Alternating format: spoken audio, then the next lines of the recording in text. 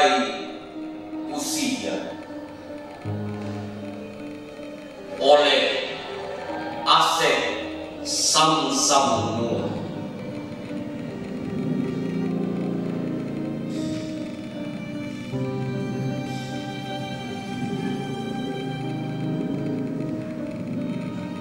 Jika tubuh ku pecah menjadi serpihan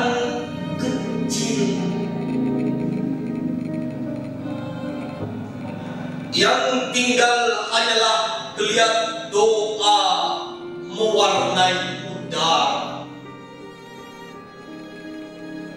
Cahaya bulan akan meleleh tapi getaran lembutnya terus menyelimuti malam menumbuhkan mawar-mawar baru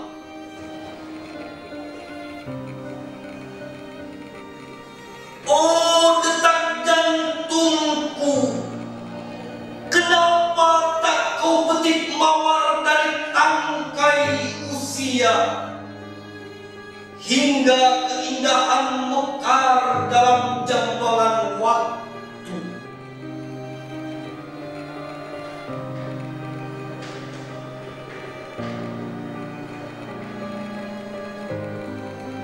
Ingin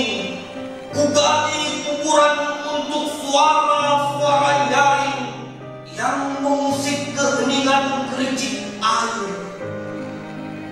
Sebab malu pada kesetiaan matahari pagi.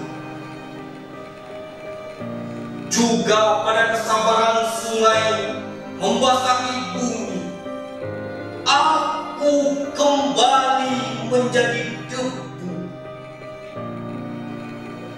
Ibarat jambangan kasar. Tubuhku hanyalah wadah bagi tanaman liar. Daun-daun yang luruh Itulah usia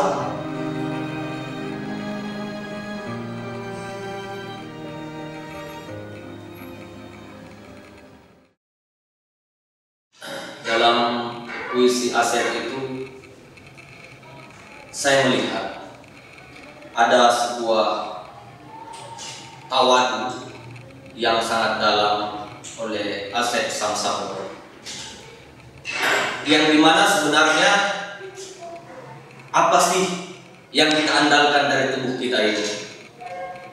Semua yang berada dalam tubuh kita ini hanyalah serpihan-serpihan doa jika tangan kita, kaki kita, perut kita, kepala kita sebenarnya adalah serpihan-serpihan kecil dalam doa-doa kita. Doa itu bukan hanya ketika kita memanjatkan atas nama Tuhan, tetapi doa itu juga ketika kita merencanakan sesuatu, ketika saya ingin pergi ke suatu tempat, itu adalah sebuah doa. Itu adalah sebuah doa untuk diri saya agar bisa sampai ke tempat tersebut. Dan itulah sebenarnya yang ada di dalam diri kita. Pada baris selanjutnya saya melihat dalam puisi itu ada sebuah teriakan dari Asep Samsamur ketika dia bilang oh detak jantung yang di mana bahwa pusara kehidupan seorang manusia sebenarnya berada pada detak jantungnya di antara detak jantung itu sebenarnya tersimpan sebuah doa di mana manusia itu harus hidup dan menghidupi. Jadi dia mengatakan bahwa oh detak jantung, kenapa tak kau petik mawar dari tangkai usia? Segala keindahan di dalam hidup ini sebenarnya selalu diliputi oleh duri-duri mawar.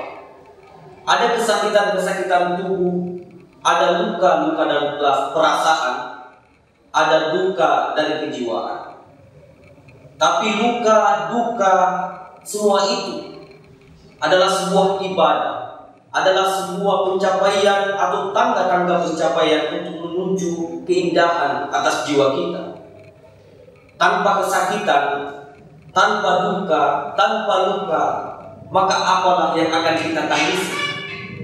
Karena duka luka itulah sebenarnya akan membuat kita menangis. Karena duka luka itulah sebenarnya yang akan menumbuhkan musim yang dingin bagi tubuh kita yang panas. Jadi jangan pernah takut, jangan pernah menghindari luka, jangan pernah menghindari duka. Karena mawar yang indah itu tumbuh dan mekar dari tangkai-tangkai yang tertutup. Itulah mungkin pesan Asep terhadap kehidupan ini. Dan bahwa ketika kita ingin memetik sebuah mawar maka jangan lupa bahwa sakit durinya itu adalah sebuah kesakitan untuk mencapai keindahan mawar